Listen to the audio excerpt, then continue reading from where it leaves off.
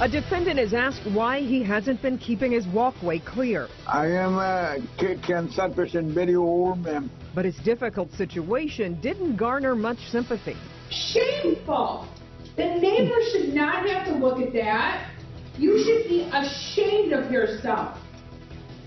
That judge's dressing down of a Hamtramck homeowner tops our news tonight at 6. Some people feel the shaming went too far because it came right after the man told the judge he has cancer and is too weak to go out and clear overgrown plants shown in this image you see right here. Priya Mann joins us now live with more of the back and forth. And Priya, I know you can hear the man struggling to breathe really when he tries to speak during that hearing.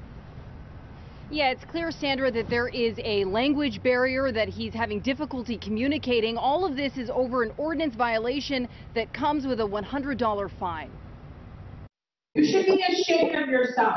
This exchange between 31st District Judge Alexis Krot and an elderly cancer survivor is garnering criticism on social media. Uh, is it, ma'am, forgivable because my father is currently sick and we cleaned that after.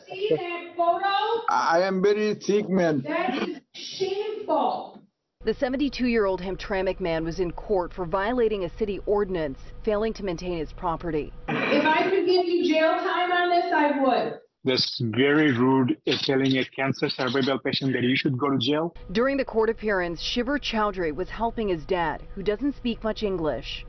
It felt very bad to me because as a son, uh, nobody wants to hear about uh, father going to jail. Shiver says his dad was diagnosed in 2019 with cancer in the lymph nodes, and treatments have taken a toll on Burhan's mobility. Shiver says since the diagnosis, he and his mom have been trying to maintain the property. I usually take care of those stuff, the backyard and everything.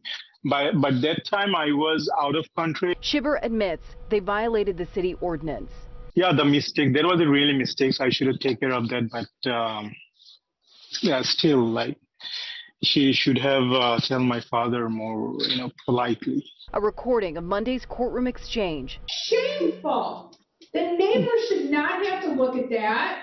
You should be ashamed of yourself. has been viewed more than 6,000 times. We didn't really expect this kind of behavior from a respectable person like a judge.